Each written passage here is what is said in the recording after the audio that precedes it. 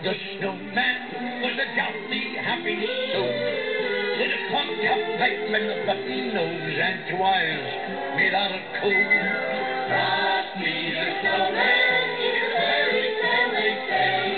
He was made of snow, but the children know how he came to life one day. There must have been some magic in that old silk hat they found. Oh, when they placed it on her head